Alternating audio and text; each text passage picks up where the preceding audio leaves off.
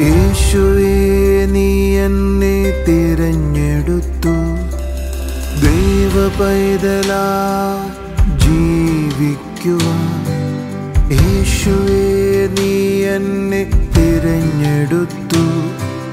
നിന്റെ രക്തവും നിന്റെ ജീവനും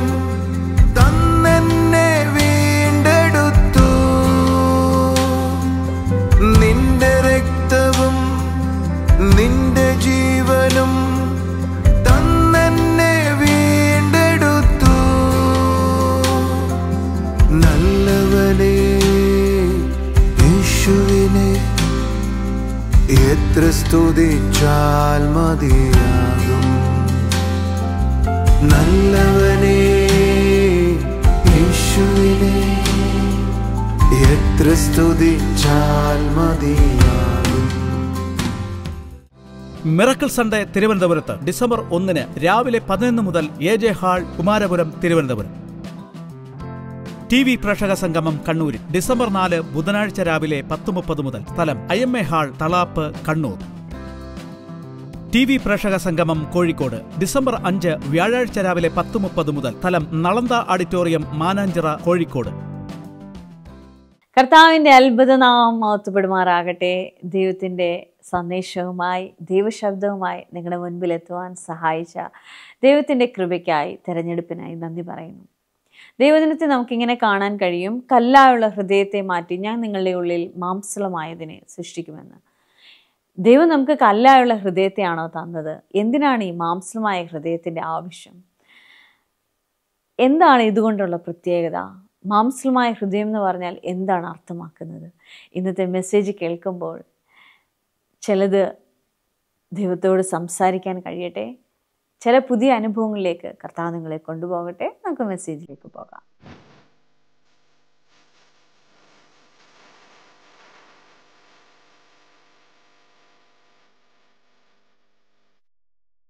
ഇനി ഞാൻ പ്രസംഗിക്കാൻ പോകുന്ന മെസ്സേജിന് പേരിട്ടിരിക്കുന്നത് എങ്ങനെയായിരിക്കാം നമുക്ക് സ്പിരിച്വൽ വേൾഡിൽ സെൻസിറ്റീവ് ആയിരിക്കുന്നത്? ഒരു വലിയ കാര്യമാണ് ഞാൻ പറയാൻ പോകുന്നത്. അതുകൊണ്ട് വളരെ അറ്റന്റീവായി നിങ്ങൾ കേൾക്കണം. ഈ മെസ്സേജ് നമുക്ക് ഒത്തിരി പ്രയോജനമാണ്. നിങ്ങൾ ശ്രദ്ധിച്ച് കേൾക്കുന്നുവെങ്കിൽ നിങ്ങളുടെ ആത്മീയ നിലവാരം അടുത്തൊരു നിലവാരത്തിലേക്ക് വരും. ഒരു ഹാലോലിയ പറയാമോ Hallelujah. അനുമുളന്ന് വരാം അനുമുളന്ന് വരാമോ നമ്മൾ കഴിഞ്ഞ ദിവസങ്ങളെല്ലാം പഠിച്ചു. നമ്മൾ എവിടെയാണ്? ദൈവരാജ്യത്തിലകത്താണ്. കഴിഞ്ഞ ആഴ്ച എനിക്ക് സത്യത്തിൽ ഞാൻ ആഗ്രഹിച്ച പോലെ പ്രസംഗിച്ചോ എന്ന് എനിക്ക് അറിയത്തില്ല എന്നാലും നിങ്ങൾക്ക് ഒരു കാര്യം മനസ്സിലായി കാണും. ദൈവരാജ്യത്തിൽ ഞാൻ ആയ സമയത്ത് അല്ലെങ്കിൽ ഞാൻ രക്ഷിക്കപ്പെട്ട സമയത്ത് ഞാൻ യേശുവിനെ അറിഞ്ഞ സമയത്ത് ദൈവം എന്നെ ഈ രാജ്യത്തിനകത്താക്കി വെച്ചു. എന്റെ കൂടെ ഉണ്ടെങ്കിൽ ഒരു ഹാലോലിയ പറഞ്ഞാട്ടെ. അതിനോടൊപ്പം ഒരു വലിയ കാര്യം കൂടെ നടന്നു. എന്റെ കല്ലായ ഹൃദയം എടുത്തിട്ട് മാറ്റിയിട്ട് മാംസലമായ ഒരു ഹൃദയത്തെ തന്നു. ഞാൻ മോനെ ആ കല്ലും സ്പോഞ്ചും കൊടുത്തോണ്ടോ ഞാൻ രണ്ട് ഉദാഹരണം വെച്ചിട്ടുണ്ടായിരുന്നു. നിങ്ങളൊന്ന് കാണുന്നത് നല്ലതാ. ഓടിയോ ഇത് ഞാൻ ഇവരോട് എടുത്ത് വെച്ചേക്കാൻ പറഞ്ഞത്. കാരണം നിങ്ങൾക്ക് പെട്ടെന്ന് മനസ്സിലാകാൻ. ഇവിടെ വെച്ചിടാം. കർത്താവ് പറയുക നിങ്ങളുടെ കല്ലായ ഹൃദയത്തെ മാറ്റിയിട്ട് മാംസലമായ ഹൃദയത്തെ തരും. നമുക്ക് പെട്ടെന്ന് പറഞ്ഞപ്പോൾ ഒന്നും മനസ്സിലായില്ല വാസ്തവത്തിൽ പക്ഷേ ഇത് വലിയ സീരിയസ് ആയ കാര്യമാണ് എന്ന് പറഞ്ഞ അന്നമോളുടെ ഉള്ളിലുണ്ടായിരുന്ന കല്ലായ ഹൃദയത്തെ ദൈവം എടുത്തു. ഓ. നമുക്കൊന്നും മനസ്സിലാവുന്നില്ലേ? ആരോ ഒരാളോട് ചോദിച്ചു എങ്ങനെ എന്റെ ഹാർട്ട് കല്ലായിപ്പോയെ? എന്റെ ഹൃദയം കല്ലായിപ്പോയെ? ദൈവം മനുഷ്യനെ സൃഷ്ടിച്ചപ്പോൾ എന്റെ ഹൃദയം എന്റെ ആത്മാവ് കഠിനമായിരുന്നില്ല. കല്ലായിരുന്നില്ല. ഈ കല്ലായിരിക്കുക എന്ന് പറഞ്ഞാൽ അർത്ഥം എന്തുവോ? ദൈവത്തെ സെൻസ് ചെയ്യാൻ കഴിയുന്ന ദൈവത്തിന്റെ ശബ്ദം ഗ്രഹിക്കാൻ കഴിയുന്ന ദൈവത്തിന്റെ ഹൃദയം മനസ്സിലാക്കാൻ പറ്റുന്ന ദൈവത്തിന്റെ പ്രേരണകളെ ഗ്രഹിക്കുന്ന ദൈവത്തിന്റെ ദർശനങ്ങളെ ഗ്രഹിക്കുന്ന ഞാൻ ഓടിച്ച് ഓടിച്ച് പറയുക നിങ്ങൾ എന്റെ കൂടെ വരണേ. ദൈവത്തിന്റെ ഇമാജിനേഷനുള്ള ദൈവത്തിന്റെ ചിന്തകളുള്ള ഹൃദയമായിരുന്നു ഒരിക്കൽ ആദാമിനുണ്ടായിരുന്നത് പക്ഷേ എന്തു ചെയ്യാം? ആദാം തെറ്റ് ചെയ്തതോടുകൂടെ ആദാമിന്റെ ഹൃദയം കഠിനപ്പെട്ടു. ഒന്ന് കൈകളടിച്ചൊരു നല്ല ആമേൻ പറഞ്ഞേ. ഇനി കുറച്ചും കൂടെ മുന്നോട്ട് പോയാൽ വേദവസം പറയുന്നതാ പഴയ നിയമം വായിക്കുമ്പോഴൊക്കെയും മനുഷ്യന്റെ സ്പിരിറ്റിന് മേലൊരു മൂടുപടം കിടക്കുക ഒരു ഹാലോലിയ പറഞ്ഞാട്ടെ. ഞാൻ ആ വാചകം ഒന്ന് വായിക്കുന്നു എസ് കെൽ പതിനൊന്ന് അതിന്റെ അതിന്റെ പത്തൊൻപതാമത്തെ വാക്യം. അവർ എന്റെ ചട്ടങ്ങളിൽ നടന്നു എന്റെ വിധികളെ പ്രമാണിച്ചു ആചരിക്കേണ്ടതിന് ഞാൻ അവർക്കൊരു വേറൊരു ഹൃദയം കൊടുക്കും. പുതിയൊരു ആത്മാവിനെ അവരുടെ ഉള്ളിലാക്കി കല്ലായുള്ള ഹൃദയം ഞാൻ അവരുടെ ജഡത്തിൽ നീക്കി മാംസലമായ ഹൃദയം ഞാൻ അവർക്ക് കൊടുക്കും. ഞാനിതിന് ഇംഗ്ലീഷ് ബൈബിൾ വായിക്കാം. എന്തിനാണ് മാംസലമായ ഹൃദയം കൊടുത്തതെന്ന് ആംപ്ലിഫൈഡ് വേർഷൻ വിശദീകരിച്ചിട്ടുണ്ട്. എന്ന് പറഞ്ഞാൽ എങ്ങനെ എഴുതിയിരിക്കുന്നത്? ദൈവത്തിന്റെ സ്പർശനത്തെ റെസ്പോണ്ട് ചെയ്യാൻ കഴിയുന്ന വിധത്തിലുള്ള ഹൃദയത്തെയാണ് വാസ്തവത്തിൽ മാംസലമായ ഹൃദയം എന്ന് പറയുന്നത്. നിങ്ങളെന്താ കൈയടിക്കാഞ്ഞ് ഒരു ആമിയൻ പറയാഞ്ഞ്? ഇരുന്നോ? എന്ന് പറഞ്ഞാൽ ഇതായിരുന്നു നമ്മുടെ പഴയ ഹൃദയം. എല്ലാവരും പറഞ്ഞേ? പറ. എന്ന് പറഞ്ഞാൽ ഈ ഹൃദയത്തിനകത്തേക്ക് ഏത് ചിന്ത വന്നാലും അകത്തോട്ട് പോകത്തില്ല. അത് റിഫ്ലക്റ്റ് ചെയ്യത്തില്ല. എന്ന പുതിയ ഹൃദയം എന്ന് പറയുന്നത് മാംസലമായ ഹൃദയമാണ് ആ ഏത് ചിന്തകളെയും ഇതിന് അബ്സോർവ് ചെയ്യാനായി പറ്റും. ഇത് രണ്ട് ചിത്രയും നിങ്ങളുടെ തലയിൽ ഉണ്ടാക്കണം നിങ്ങൾക്ക് ഒരിക്കലുണ്ടായിരുന്ന കല്ലായ ഹൃദയമാണ്. പക്ഷേ ഇപ്പോൾ നിങ്ങൾക്ക് എന്തല്ല? കല്ലായ ഹൃദയമല്ല മാംസലമായ ഹൃദയമാണ്. ആ ഈ ഹൃദയത്തിന്റെ പ്രത്യേകത ഏത് ദൈവശബ്ദത്തെയും ഇതിന് തിരിച്ചറിയാനായി പറ്റും. ഒരു നല്ല ഹാമേൻ പറയാം. ഒരിക്കൽ കൂടെ കരമുയർത്തി പറഞ്ഞു എനിക്ക് ഒരിക്കൽ കല്ലായ ഹൃദയമാണ് ഉണ്ടായിരുന്നത്.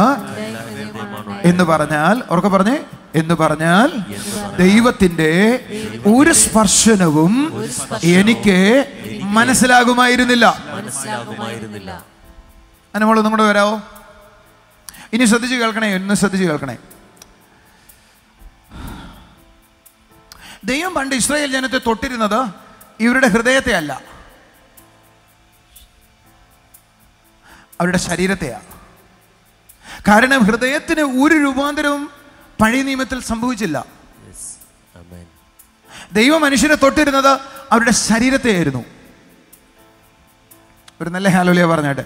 എന്നാൽ പുതിയ നിയമത്തിൽ നേരെ തിരിച്ചാണ് ആ പഴയ ഹൃദയം മാറ്റി ശരീരത്തെയല്ല ദൈവം തൊടുന്നത് ഹൃദയത്തെയാണ് ദൈവം തൊടുന്നത്. ഏമേൻ ഇതൊരു വലിയ സബ്ജക്റ്റാണ് വലിയ കാര്യമാണ് ഈ പഴയ നിയമം കൂടുതൽ വായിക്കുന്ന ആളുകൾ പറയും ദൈവം അനുശിക്ഷിച്ചു ശിക്ഷിച്ചു. ദൈവം എന്നെ അടിച്ചു. കാരണം പഴയ നിയമത്തിൽ മുഴുവൻ ശിക്ഷയും ശരീരത്തിന് മേലാ വരുന്നേ. എന്നാൽ പുതിയ നിയമത്തിലെ ശിക്ഷ ശരീരത്തിന് മേലല്ല വരുന്നത്. ദൈവം നിങ്ങളെ ശാസിക്കുന്നത് ശരീരത്തിന് മേളിലല്ല നിന്റെ സ്പിരിറ്റിലാണ് ആ ശാസന തിരിച്ചറിയുന്നത്. നിങ്ങൾക്ക് പിടികിട്ടിയോ ഇല്ലയോ എന്ന് എനിക്ക് അറിയത്തില്ല അത് അടുത്ത ആഴ്ചകളിൽ എപ്പോഴെങ്കിലും ഞാൻ വിശദീകരിക്കാം. അതുകൊണ്ട് ആളുകൾ എബ്രാഹിം ലേഖനം പന്ത്രണ്ടാം അധികം വായിച്ചിട്ട് പറയുന്നത് അപ്പന്മാരാണെങ്കിൽ ശാസനയുണ്ട് അപ്പന്മാരാണെങ്കിൽ അടി കിട്ടും. ശരിയാ. പക്ഷേ പഴയ നിയമത്തിൽ അടി എന്ന് പറയുന്നത് ശരീരത്തിലാണ്. പുതിയ നിയമത്തിൽ ദൈവം നമ്മളെ ശരീരത്തിൽ അടിക്കുന്നില്ല ശരീരത്തിൽ ശിക്ഷിക്കുന്നില്ല. പകരം ഇതിനകത്തൂടെയാണ് ദൈവം സകലതും ചെയ്യുന്നത്. കൂടെ എത്തിയ ഒരു നല്ല ഹാലോലിയ പറഞ്ഞാട്ട്. ദൈവം എന്തിനാണ് ഈ മാംസലമായ ഹൃദയം എനിക്ക് തന്നത്? എന്തിനാണ് മാംസലമായ ഹൃദയം തന്നത്? ശ്രദ്ധിച്ചു കേൾക്കൂ. ഞാൻ ആയിരിക്കുന്നത് ഒരു ആത്മലോകത്തിലാണ്. ഞാൻ ആയിരിക്കുന്ന ഒരു ആത്മലോകത്തിലാണ്. ഈ ആത്മലോകത്തിലെ സകല മെസ്സേജുകളും സകല സെൻ സകല അനുഭവങ്ങളും ഞാൻ ഗ്രഹിക്കണമെങ്കിൽ എനിക്ക് പുതിയൊരു ഹൃദയം ഉണ്ടായേ ഒക്കത്തുള്ളൂ പഴയ ഹൃദയം ഉണ്ടായേ ഒക്കത്തില്ല. Amen. ഒന്നും കൂടെ കൈയടിക്കാം രാമീൻ പറയാം. ശബ്ദമീർത്തി ഹാലോലിയ പറയാം. നമ്മൾ പലപ്പോഴും എങ്ങനെയാണെന്നറിയോ? ദൈവത്തെ ഈ ലോകത്തിൽ നിന്നുകൊണ്ട് അറിയാൻ ശ്രമിക്കുകയാണ് ദൈവമായി ബന്ധപ്പെടുവാൻ ഈ ലോകപ്രകാരം ശ്രമിക്കുകയാണ് വേദപുസ്തകം പറയുന്നത് നിങ്ങൾക്ക് അതിന് സാധിക്കത്തില്ല. ദൈവത്തെ നിങ്ങൾക്ക് അറിയാൻ കഴിയുന്നത് നിങ്ങളുടെ ഹൃദയത്തിലാണ്. ഒന്ന് കൈകളടിച്ചൊരു നല്ല ആലോലിയോ പറഞ്ഞാട്ടെ. അവനെ നമ്മുടെ ബുദ്ധിക്ക് മനസ്സിലാക്കാൻ കഴിയത്തില്ല. പക്ഷെ നമ്മുടെ ഹൃദയത്തിന് അവനെ മനസ്സിലാക്കാനായി കഴിയും. നിങ്ങൾ തളന്നെന്ന് എനിക്ക് തോന്നുന്നത് ഞാനൊരു ഇൻട്രഡക്ഷനിലാണ് നിൽക്കുന്ന. കുറച്ചും കൂടെ ഡീപ്പിലേക്ക് പോകാം. ഒന്ന് ചേർന്ന് കൈയടിച്ചൊരു നല്ല ആമീൻ പറഞ്ഞേ. ശബ്ദമീർത്തിന് ഹാലോലിയ പറഞ്ഞേ. പല ആളുകളിവിടെ വരുമ്പോഴേ പല ആളുകളിവിടെ വരുമ്പോൾ അവർ വരുന്നതിന്റെ ഒരു കാരണം അവരുടെ അനുഗ്രഹത്തിന് വേണ്ടിയാണ് ഇപ്പോൾ ഈ ഈ ഫാമിലി വന്നതിന്റെ ഒരു കാരണം സെപ്റ്റംബറിൽ അവർക്ക് കൊടുക്കാനുള്ള ഒരു പ്രശ്നമുണ്ട്. അവർക്ക് ഇതുവരെ അത് കൊടുക്കാൻ കഴിഞ്ഞിട്ടില്ല. അപ്പോൾ അത് സെറ്റിൽ ആകേണ്ടതിന് പ്രാർത്ഥിക്കാൻ വന്നതാണ്. നിങ്ങൾ എന്നെ ശ്രദ്ധിച്ച് കേൾക്കുന്നു? എന്നാൽ ദൈവം അവർക്ക് വേണ്ടിയിട്ട് അടുത്ത മാസം പത്തിന് മുമ്പ് ആ കാര്യം ചെയ്തു വെച്ചേക്കുക.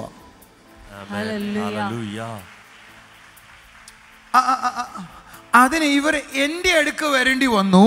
അത് മനസ്സിലാക്കാൻ. എന്തോ ഒരു പ്രശ്നമില്ലേ അപ്പോ ദൈവത്തിന് അവരോട് നേരിട്ട് പറയാൻ പറ്റത്തില്ലേ? യെസ് പറയാൻ പറ്റും. അതിനു വേണ്ടിയാ ദൈവം ഈ ഹൃദയത്തെ നമുക്ക് തന്നിരിക്കുന്നത്. ഏമേൻ ആ കൈയടിച്ചു രാമേൻ പറ. നമ്മൾ പലപ്പോഴും ബ്ലസ്സിങ്ങിന്റെ പുറകിലാണ്. തെറ്റൊന്നുമില്ല. ബ്ലെസ്സിങ് അനുഭവിക്കേണ്ടതിനാ ദൈവം വിളിച്ചത്. പക്ഷേ ആ ബ്ലെസ്സിങ് വരുന്നത് തിരിച്ചറിയുന്നതിനെയാണ് വാസ്തവത്തിൽ എനിക്ക് മാംസലമായ ഹൃദയത്തെ തന്നത്. സ്പിരിച്വൽ ലോകത്തിൽ നിന്ന് സകല നന്മകളും സകല അനുഗ്രഹങ്ങളും ഫിസിക്കലി ട്രാൻസ്ഫർ അല്ല സംഭവിക്കുന്നത്. ഫിസിക്കലി അല്ല ദൈവം തരുന്നത്. അതിനെ സ്പിരിച്വലിയാ തരുന്നത്. അതുകൊണ്ട് ഏത് അനുഗ്രഹവും ആദ്യം വരുന്നത് എന്റെ ഹൃദയത്തിനകത്താണ്. ഏമേൻ. ഓ കൈകളടിച്ച് കർത്താവിനെ സ്തുതിക്കാം. Thank you, Jesus. ശബ്ദമീർത്തി ഹാലോലിയ പറയാം. Hallelujah. കുറച്ചും കൂടെ അങ്ങോട്ട് വിളിക്കുന്നു കേട്ടോ ഞാൻ ഒന്ന് രണ്ട് ഉദാഹരണം കൂടെ പറയാം നിങ്ങൾക്ക് കുറച്ചും കൂടെ മനസ്സിലാവും അപ്പോൾ. ഞാൻ ഈ പ്രാവശ്യം യു എസ് സി പോകാൻ വേണ്ടി തീരുമാനം എടുക്കുമ്പോൾ സത്യത്തിൽ ഡേറ്റ്സുകളില്ല ചെന്നൈയിലെയും ബാംഗ്ലൂരിലെയും ഏജൻസി അല്ലെങ്കിൽ യു എസ് എംബസിയിലെ അടുത്ത വർഷം നവംബറിലെ ഡേറ്റ് ഉള്ളൂ ഞാൻ പിന്നീട് ശ്രമിച്ചത് സൗദി അറേബ്യയാണ്. സൗദി അറേബ്യയിലും ഫെബ്രുവരിയിലെ ഡേറ്റ് ഉള്ളൂ അടുത്ത് നോക്കിയത് ദുബായിലാണ്. ദുബായിലെ മാർച്ചിലെ ഡേറ്റ് ഉള്ളൂ നിങ്ങൾ എന്നെ ശ്രദ്ധിക്കുന്നു. പിന്നെ രണ്ട് രാജ്യങ്ങളുള്ളത്. ഒന്ന് സിംഗപ്പൂരുണ്ട് രണ്ടും മലേഷ്യയിലുണ്ട്. രണ്ടിടത്ത് നോക്കിയപ്പോൾ എനിക്ക് എന്റെ എനിക്ക് കിട്ടിയിരിക്കുന്ന ഇൻവിറ്റേഷൻ അനുസരിച്ച് ആ ഡേറ്റ് കഴിഞ്ഞിട്ടാണ് അവിടെ എന്തുള്ളത്? എംബസിയിലെ ഡേറ്റ് ഉള്ളത്. അപ്പം എനിക്ക് മനസ്സിലായി. എനിക്ക് പോക്ക് പോകാൻ പറ്റത്തില്ല. ഞാൻ പറഞ്ഞു കൊണ്ട് അതിന് അടുത്ത വർഷം പോയാൽ മതി. അത് സാധനം ക്ലോസ് ചെയ്തു. ക്ലോസ് ചെയ്തിട്ടിരിക്കുന്ന ആ ഞായറാഴ്ച അല്ല ആ ചൊവ്വാഴ്ച എന്നെ ഒരാൾ ആഫ്രിക്കയിൽ നിന്ന് വിളിക്കുകയാണ്. എന്നിട്ട് ഒരു പ്രവാചകനായ ഒരു മനുഷ്യൻ ഞാൻ അറിയുന്നൊരു പ്രൊഫറ്റ് അദ്ദേഹം വിളിച്ചിട്ട് പറഞ്ഞു പാസ്റ്റർ നിങ്ങൾ ഈ മാസം അമേരിക്ക നിൽക്കുന്ന എനിക്ക് കാണാം. ഞാൻ പറഞ്ഞു "ആ, ആ, അതെങ്ങനെ നടക്കും? ഒരു വഴിയില്ല. നിങ്ങൾക്ക് മനസ്സിലാവുന്നു? ഒരു വഴിയില്ല. പക്ഷേ അദ്ദേഹം പറഞ്ഞപ്പോൾ എനിക്ക് തോന്നി സംതിങ് ഈസ് കർത്താവ് എന്തോ ഒരുക്കുകയാണ്. നിങ്ങൾക്ക് എന്റെ കാര്യം പിടികിട്ടുന്നു? ഞാൻ ഏജൻസിക്കാരെ വീണ്ടും വിളിച്ചിട്ട് പറഞ്ഞു ബ്രദർ അദ്ദേഹത്തോട് പറഞ്ഞ ഭാഷ ഇതാ. എനിക്ക് ഈ മാസത്തിന് മുമ്പ് പോകാൻ പറ്റുമെന്നാണ് തോന്നുന്നേ. അതുകൊണ്ട് നിങ്ങൾ ഒന്നും കൂടെ ശ്രമിച്ചേക്കണം. അവർ തിരിച്ചു മറുപടി പറഞ്ഞു സാർ ഒരു ഡേറ്റും ഇല്ല. ഞങ്ങൾ കഴിഞ്ഞ ദിവസം കൂടെ കയറി നോക്കിയതാണ്. അടുത്ത മാസം കഴിഞ്ഞിട്ടേ ഡേറ്റ് ഉള്ളൂ ഞാൻ പറഞ്ഞു സാർ നിങ്ങൾ ഒന്നും കൂടെ ശ്രമിക്കേ. ശ്രമിച്ചു സാർ ഞങ്ങൾ ഇന്നലെയും കൂടെ അവർ തിരിച്ചു മറുപടി പറയാം ഇന്നലെയും കൂടെ നോക്കിയോ? ഇല്ല. എന്റെ കൂടെ ഉണ്ടോ ഒരു ഹലോലിയ പറയാമോ അന്ന് കഴിഞ്ഞു. അന്ന് വൈകുന്നേരം എനിക്ക് നന്നായിട്ട് മനസ്സിലായി ഞാൻ ഈ പ്രോഗ്രാമിന് പോകേണ്ടതാണ്. പിറ്റേ ദിവസം തിങ്കളാഴ്ച പിറ്റേ ആഴ്ച തിങ്കളാഴ്ച ഈ ഏജൻസിന്ന് വേണ്ടി വിളിച്ചിട്ട് പറയുക ബ്രദറെ പത്തൊൻപതാം തീയതി ഒരു ഡേറ്റ് മാത്രം വെളിപ്പെട്ടിട്ടുണ്ട്. അത് വരുന്ന തിങ്കളാഴ്ചയാണ്. നിങ്ങൾക്ക് വേണമെങ്കിൽ പോകാം. നിങ്ങൾ ആരെങ്കിലും എന്റെ കൂടെ ഉണ്ടോ? ഒരു ഹാലോലിയ പറഞ്ഞേ. ഞാൻ പലപ്പോഴും ചിന്തിക്കാറുണ്ട് ദൈവത്തിന്റെ പ്ലാൻ നമുക്കൊരു പക്ഷേ യാഥാർത്ഥ്യമായി തോന്നത്തില്ല. പക്ഷെ ദൈവം നമ്മളോട് സംസാരിച്ചതല്ല ഇപ്പോൾ കാണുന്നില്ല എങ്കിലും അത് യാഥാർത്ഥ്യമാകും. നീ അതിലേക്ക് മുന്നോട്ട് പോയാൽ മാത്രം മതി. Hallelujah. Thank you, Jesus. Physically നോക്കിയാൽ യാതൊരു വഴിയില്ല. പക്ഷേ എന്റെ അകത്ത് എനിക്കൊരു കാര്യം മനസ്സിലായി. ഇത് അങ്ങനെയല്ല. സകല അടഞ്ഞ വഴികളും എംബസി ആണെങ്കിലും ലോകമാണെങ്കിലും തുറന്നു വരും. എന്നെന്റെ അകത്ത് മനസ്സിലായി. കൂടെ ഉണ്ടെങ്കിൽ കൈ അടിച്ചുവിടും നല്ല ആമേൻ പറ. ശബ്ദമേർത്തിന് ഹാലലിയ പറ. എന്ന് പറഞ്ഞ നിങ്ങളുടെ മുമ്പിൽ അടഞ്ഞ വഴികളായിരിക്കാം ഉണ്ടാകുക. അതിനെ നിങ്ങൾ ചെയ്യുന്ന രീതി ദൈവമേ അടഞ്ഞ വഴി തുറക്കണേന്നാണ്. അത് തെറ്റൊന്നുമില്ല. പക്ഷെ അടഞ്ഞ വഴികളുടെ നടുവിൽ എന്റെ അകത്ത് പുതിയൊരാത്മാവിനെ തന്നത് ആ അടഞ്ഞ വഴികളിൽ ദൈവം എന്താണ് ചെയ്യാൻ പോകുന്നത് എന്ന് പറഞ്ഞു തരാനാണ്. ഇവരുടെ മുമ്പിൽ വഴികൾ അടഞ്ഞിരിക്കുക പക്ഷെ ദൈവത്തിന് പത്താം തീയതിക്ക് മുമ്പ് ഇവർക്ക് വേണ്ടി ഒരു വഴി തുറന്നു വെച്ചിരിക്കുകയാണ്. എന്റെ കൂടെ ഉണ്ടെങ്കിൽ ഹാലുലിയ പറ എന്ന് പറഞ്ഞാൽ എനിക്ക് മാംസലമായ ഒരു സ്പിരിറ്റിന് എനിക്ക് ദൈവം തന്നത് ദൈവത്തിന്റെ ശബ്ദവും ആത്മലോകവും എനിക്ക് വ്യക്തിപരമായി അനുഭവിക്കാൻ വേണ്ടിയാണ്. കൂടെ ഉണ്ടെങ്കിൽ ഹാലുലിയ പറ ഒരു ഹലോലിയ പറ. അനുമോൾ ഒന്നും കൂടെ വരാവോ? എനിക്ക് മാംസലമായ ഒരു ഹൃദയമുണ്ട്. എല്ലാവരും പറ. എനിക്ക് മാംസലമായ ഒരു ഹൃദയമുണ്ട്. ഇവിടെ നിൽക്കുന്നത് എവിടെയാണ്? ഒരു ആത്മലോകത്തിലാണ്. എന്റെ കൂടെ ഒന്ന് പറഞ്ഞേ ഒരു ആത്മലോകത്തിലാണ്. ആത്മലോകത്തിലാണ്. ഒന്ന് ശ്രദ്ധിച്ചേ. ഇവളുടെ അടുക്കൽ ഒരു ഏഞ്ചൽ നിൽപ്പുണ്ടോ? ഇവൾ എങ്ങനെയാ അതിനെ അറിയുന്നേ? ഇവളുടെ അടുക്കൽ ആ, എടുക്കൽ സഹായിക്കാൻ ഒരാൾ നിൽപ്പുണ്ടോ പക്ഷെ ഇവൾക്ക് എങ്ങനെ അറിയാം? ഫിസിക്കലായ കണ്ണുകൊണ്ട് ഒരിക്കലും കാണാൻ അവരെ കഴിയണമെന്നില്ല. അത് സാധാരണ കാണാറില്ല. ഫിസിക്കലായ കണ്ണുകൊണ്ടല്ല ആത്മലോകത്തെ തിരിച്ചറിയുന്നത്. ഫിസിക്കൽ അല്ല അത് സ്പിരിച്വൽ ആണ്.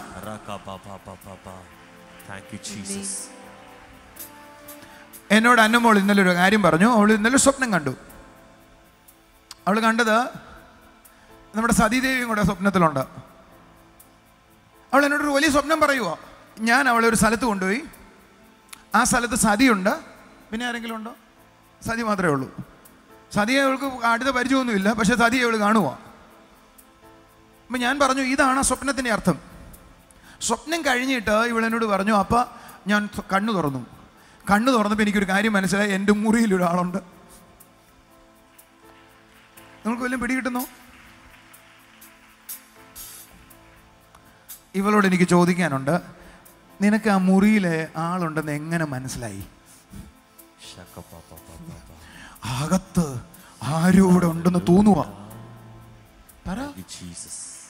that is call flush heart of flush അത് കണ്ണിലല്ല കണ്ടത്. ആകത്താണ് മനസ്സിലാകുന്നത്. ആരോ ഒരാൾ ഇവിടെ ഉണ്ട്. നിങ്ങൾ എന്റെ കൂടെ ഉണ്ടെങ്കിൽ ഹാലുലിയ പറഞ്ഞേ. ഞങ്ങൾ ഇന്നലെ രാത്രി മൂന്ന് പേരും കൊണ്ടിരുന്ന് പ്രാർത്ഥിക്കുവോ? പെട്ടെന്ന് ഞങ്ങൾക്ക് മനസ്സിലായി ഞങ്ങളുടെ കഥവിന്റെ അടുക്കൽ ആരോ ഒരാൾ നിപ്പുണ്ട്. അത് കണ്ണുകൊണ്ട് കാണുമല്ല ഫിസിക്കലി അകത്തെ മനുഷ്യനിൽ തോന്നുക ആരും എന്റെ അടുക്കൽ നിപ്പുണ്ട്? ഏത് തോന്നുന്നത് പോലെ കണ്ണുകൊണ്ട് തോന്നുന്നത് പോലെ ഒരാൾ കാണുന്നത് പോലെ എനിക്ക് തോന്നുന്നു ആരോ ഒരാൾ എന്റെ അടുക്കൽ നിൽക്കുന്നുണ്ട്. ഒന്ന് ശ്രദ്ധിക്കാം ഒന്ന് ശ്രദ്ധിക്കാം. നിങ്ങൾ എന്റെ ഒപ്പ് എത്തിയോ കട്ട് ചെയ്യാന്നോ ഇത് കൂടുതലേക്ക് വെള്ളം ചേർക്കാൻ ഒക്കത്തില്ല. ഒത്തിരി ഡീപ്പായി പഠിപ്പിക്കേണ്ട കാര്യമാണ് താനും ശ്രദ്ധിക്കണേ നമ്മൾ കണ്ണടച്ചേ. ഞാൻ ഇവൾ നടക്കുന്നതിന്റെ ഇടയിൽ ഇതാ ഇവിടെ തട്ടി. നിനക്ക് മനസ്സിലാവുന്നുണ്ടോ? ഇത് ഇളകുന്നില്ലേടാ? ഓക്കെ അറിയാവോ? തട്ടിയത് അറിയാവോ ഓ അറിയത്തില്ല. നിങ്ങളുടെ വീട്ടിലെ ഒരാൾ നടന്ന? ആ നടക്കുന്നതിന്റെ ശബ്ദം നിങ്ങൾക്ക് കേട്ടൂടെ? അതെങ്ങനെയാണ് കേൾക്കുന്നത് നിങ്ങൾ കണ്ണട ആരും ഒരാൾ എനിക്ക് കള്ളന്മാരെ ഭയങ്കര പേടിയായിരുന്നു. വിശ്വാസത്തിൽ വന്നിട്ടും പേടിയായിരുന്നു. കാരണം കള്ളന്മാരുടെ കാര്യങ്ങൾ ഒത്തിരി അനുഭവിച്ചിട്ടുണ്ട്. അതുകൊണ്ട് രാത്രിയിൽ പുറത്തൊരു ശബ്ദം കേട്ടാൽ ഞാൻ എഴുന്നേക്കും പോയി ജനലോർ നോക്കും. ആരെങ്കിലും ആണോ നടക്കുന്നത് നിങ്ങൾക്ക് ആരെങ്കിലും അങ്ങനെ പേടിയുണ്ടോ? എനിക്കുണ്ട്. ഉണ്ടായിരുന്നു ഇപ്പം ഇല്ല. എന്റെ കൂടെ ഉണ്ടോ? അതെങ്ങനെയാ നമുക്ക് മനസ്സിലായേ? ശബ്ദവരുത്തി പറ. എന്തോ ഒന്ന് കേട്ടു. എന്തോ ഒന്ന് കണ്ടു. നമ്മൾ ഇപ്പോഴും പ്രവർത്തിക്കുന്നത് നമുക്ക് ചുറ്റുമുള്ള ആത്മലോകത്തെ എന്തോ ഒന്ന് കേട്ടു എന്തോ ഒന്ന് കണ്ടു എന്ന വിധത്തിലാണ്. പക്ഷേ ആത്മലോകം മുഴുവൻ അനുഭവിക്കാൻ കഴിയുന്നത് കാണുകയോ കേൾക്കുകയല്ല ഇതിനകത്ത് മനസ്സിലാകുകയോ ചെയ്യുന്നേ. ഹല്ലേലൂയ ആ അതിന് എഴുന്നേറ്റ് വന്നൊരു നല്ല കൈയടി കൊടുത്തേ.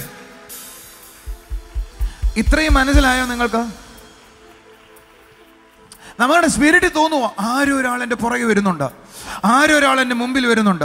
ആരും ഒരാൾ എന്റെ സൈഡിൽ നിൽപ്പുണ്ട് അത് ബുദ്ധിക്ക് തോന്നുന്നതല്ല നമ്മുടെ അകത്ത് തോന്നുന്നതാണ്. യെസ് അത് നമ്മുടെ അകത്ത് നമുക്ക് ലഭിക്കപ്പെട്ട മാംസലമായ ഹൃദയത്തിന്റെ പ്രത്യേകതയാതാ എന്ന് പറഞ്ഞാൽ ആത്മാവിന്റെ ചലനങ്ങൾ ഗ്രഹിക്കാൻ ആത്മലോകത്തിന്റെ ചലനങ്ങൾ ഗ്രഹിക്കാൻ ഈ ഹൃദയത്തിന് കഴിയും. കുറച്ചും കൂടെ നന്നായി പറഞ്ഞ നിങ്ങളുടെ അകത്തുള്ള ഹൃദയത്തിന് ആത്മലോകത്തിന്റെ സ്പർശനം അറിയാം. ആത്മലോകത്തിന്റെ സ്പർശനം അറിയാം. കമോൺ കൈയടിച്ചു രാമേൻ പറ. കർത്താവിലായിരിക്കുന്ന ഓരോ വ്യക്തിയും ദൈവത്തിന്റെ ശബ്ദം കേൾക്കണം. ദൈവത്തിന്റെ സ്പർശനത്തെ തിരിച്ചറിയണം. ഇത് തിരിച്ചറിയണമെങ്കിൽ നമ്മുടെ ഹൃദയം കല്ലായുള്ള അനുഭവത്തിൽ നിന്നും മാംസമായ ഒന്നിലേക്ക് വന്നേ പറ്റത്തുള്ളൂ. ഐ മീൻ അതുകൊണ്ടാണ് കർത്താവ് നിങ്ങളിൽ ചില മാറ്റത്തെ കൊണ്ടുവരുന്നത്. നിങ്ങളിൽ ഉണ്ടാകുന്ന മാറ്റങ്ങളിൽ ഏറ്റവും വലുതാണ് നിങ്ങളുടെ ഹൃദയത്തിനുണ്ടാകുന്ന ചേഞ്ച് എന്ന് പറയുന്നത്. കർത്താവ് നിങ്ങളെ സഹായിക്കട്ടെ. ഓരോ ചെറിയ ശബ്ദത്തെ പോലും സെൻസിറ്റീവായി മനസ്സിലാക്കുവാൻ കർത്താവ് നിങ്ങളെ സഹായിക്കട്ടെ. നമുക്കിനി ചില സാക്ഷ്യങ്ങളിലേക്ക് പോകാം.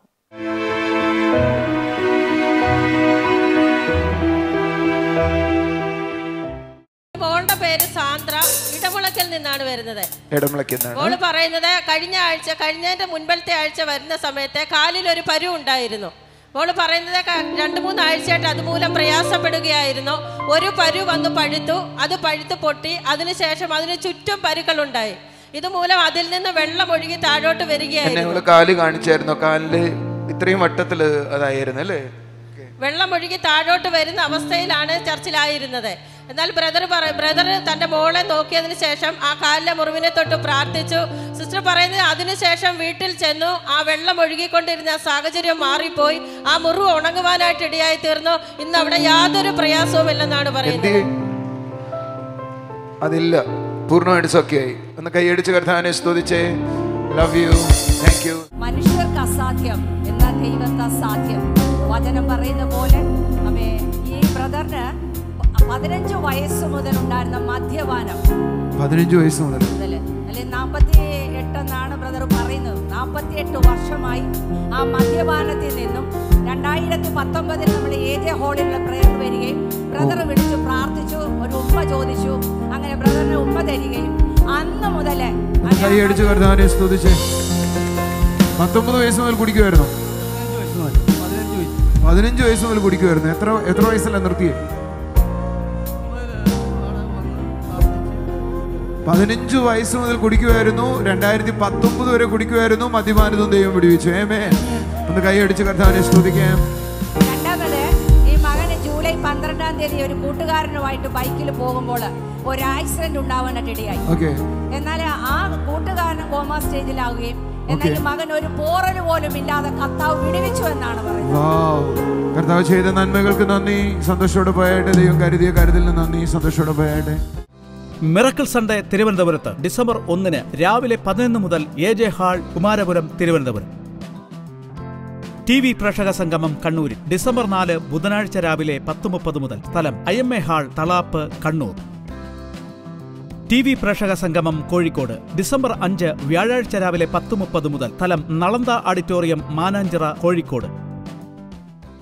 കർത്താവ് ചെയ്യുന്ന അത്ഭുതങ്ങൾക്കായി നന്ദി പറയുന്നു. ദൈവത്തിന്റെ പ്രവൃത്തികൾക്കായി സ്തോത്രം ചെയ്യുന്നു. ജീവിക്കുന്നൊരു ദൈവത്തെ അനുഭവിക്കാൻ കഴിയുന്ന ഓരോ കുടുംബങ്ങളെയും ഓർത്ത് നന്ദി പറയുന്നു. ആ സാന്നിധ്യത്തോടൊപ്പം ചലിക്കാൻ കഴിയുക. അല്ലെങ്കിൽ ആ വിശ്വാസത്തിലായിരിക്കാൻ കഴിയുന്നത്. ഐ മീൻ അത് ദൈവത്തിന്റെ വിളിയാകുന്നു ദൈവത്തിന്റെ തിരഞ്ഞെടുപ്പാകുന്നു അവന് നിങ്ങളോടുള്ള ഇഷ്ടമാകുന്നു. നമുക്കൊരു നിമിഷം പ്രാർത്ഥിക്കാം. എന്നെ കാണുന്ന ഓരോ കുടുംബങ്ങളിലും ദൈവത്തിന്റെ അത്ഭുതത്തെ പ്രതീക്ഷിച്ചാട്ടെ. നിങ്ങൾ ഒരത്ഭുതമാകുന്നു നിങ്ങളുടെ കരം ഒരു അത്ഭുതമാകുന്നു നിങ്ങളുടെ വാക്കുകൾ അത്ഭുതങ്ങളെ ഉളവാക്കുന്നു. അതുകൊണ്ട് നിങ്ങളുടെ വീടുകളിൽ നിങ്ങളുടെ വാക്കുകൾ ചിലതിനെ ഉളവാക്കട്ടെ. നിങ്ങളുടെ കൈകൾ ചിലതിനെ സൗഖ്യമാക്കട്ടെ. രോഗികളായിരിക്കുന്നവർ വിശ്വാസത്തോടെ രോഗമുള്ള ഭാഗത്തേക്ക് കൈകൾ വെച്ചാട്ടെ. അപ്പോൾ എന്നെ കാണുന്ന ഓരോ കുടുംബങ്ങളെയും അവിടുത്തെ കരങ്ങളിൽ ഏൽപ്പിക്കുന്നു. ദൈവത്തിന്റെ അത്ഭുത കരം ചലിക്കട്ടെ അപ്പാ. അത്ഭുത ശക്തി കുടുംബങ്ങൾ അനുഭവിക്കട്ടെ. ദൈവത്തിന്റെ പ്രവൃത്തിക്കായി നന്ദി പറയുന്നു കർത്താവെ. അവിടുത്തെ കൃപയ്ക്കായി നന്ദി പറയുന്നപ്പാ. ഐ മീൻ ദൈവത്തെ അനുഭവിക്കുന്ന ആ സ്പർശനത്തിലായിരിക്കുവാൻ കഴിയുന്ന കർത്താവെ ഓരോ കുടുംബങ്ങളും ദൈവത്തിന്റെ അത്ഭുതത്തെ ഇപ്പോൾ മുതൽ അനുഭവിക്കട്ടെ അപ്പ. രോഗികൾ സൗഖ്യമാകട്ടെ. രോഗികൾ സൗഖ്യമാകട്ടെ. Thank you Jesus thank you Jesus thank you Jesus കർത്താവെ രോഗികൾ സൗഖ്യമാകട്ടെ അപ്പ. എനിക്കൊരു വ്യക്തിയെ കാണാം. ആ വ്യക്തിയുടെ ശരീരത്തിൽ മുഴ പോലിരിക്കുന്ന ഒരു ത അതായത് ഒരു കുരുപ്പ് പോലെയാണ്. പക്ഷെ അത് ചെറിയൊരു കുരുപ്പ് പോലെയല്ല അതൊരു മുഴ പോലെയാണ് ഫീൽ ചെയ്യുന്നത്. പക്ഷെ അതിൽ നിന്ന് പഴുപ്പ് വരുന്നുണ്ട്. അത് ചില സമയം അതിൽ നിന്ന് പഴുത്ത് പഴുപ്പ് പൊട്ടി പുറത്തു വരുന്നത് കാണാം. ആ വ്യക്തിയെ കർത്താവ് സൗഖ്യമാക്കുകയാണ്. യേശുവിന്റെ നാമത്തിൽ ആ വ്യക്തിയുടെ മേൽ കർത്താവിന്റെ അത്ഭുത കരം ചലിക്കുകയാണ്. ആ ദൈവത്തിന്റെ സൗഖ്യം ചലിക്കുകയാണ്. അപ്പോൾ അവിടുന്ന് ചെയ്യുന്നതോർത്ത് നന്ദി പറയുന്നു കർത്താവെ. അവിടുന്ന് ചെയ്യുന്നതോർത്ത് നന്ദി പറയുന്നു. കാണുന്ന കുടുംബങ്ങളെല്ലാം അവിടുത്തെ കരങ്ങളിൽ ഏൽപ്പിക്കുന്നു. അവിടുത്തെ അത്ഭുത കരം ചലിച്ചാട്ടെ അപ്പ. കർത്താവെ സൗഖ്യമാകട്ടെ. ചിലർക്കൂടെ സൗഖ്യമാകട്ടെ. ആ, എല്ലുകൾക്ക് തേയ്മാനമുള്ള ചിലർക്കൂടെ സൗഖ്യമാകട്ടെ. എല്ലുകൾക്ക് തേയ്മാനമുള്ള ചിലർക്കൂടെ സൗഖ്യമാകട്ടെ അപ്പ. അവിടുത്തെ അത്ഭുത കരം ചലിച്ചാട്ടെ. അതേപോലെ പഠിക്കുന്ന കുഞ്ഞുങ്ങളെ കർത്താവ് കാണിക്കുകയാണ്. മുന്നേറാൻ കഴിയുന്നില്ല. ചിലതിനെ ജയിക്കുവാൻ കഴിയുന്നില്ല. അവിടുത്തെ അത്ഭുത കരം ചലിച്ചാട്ടെ അപ്പ. അവിടുന്ന് ചെയ്യുന്ന പ്രവൃത്തിക്കായി നന്ദി പറയുന്നു. സ്വർഗീയ പിതാവേ അവിടുന്ന് ഞങ്ങളെ പ്രാർത്ഥന കേട്ടേനായി സ്തോത്രം. യേശുവിന്റെ നാമത്തിൽ തന്നെ. ആമീൻ. കർത്താവിന്റെ കൃപയിൽ ഓരോ ദിവസവും വർദ്ധിച്ചു വരാം. കർത്താവിന്റെ നിറവിലായിരിക്കാം. ഗോഡ് ബ്ലസ് ചെയ്യും